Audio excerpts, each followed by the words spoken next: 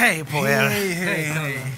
Alltså, eh, Adelsson och Falk, Ja, storhetstid 70-80, 80. 80. 80 ja. spelades på mycket på radio.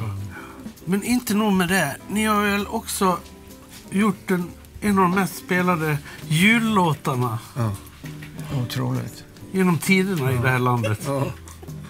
Du håller i den. Jag håller i den, ja.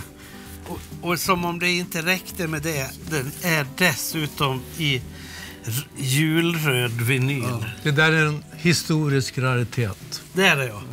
Eh, Röd vinyl, 2000 exemplar. Resten blev svarta. Nu pratar vi alltså om låten Mer jul. Absolut.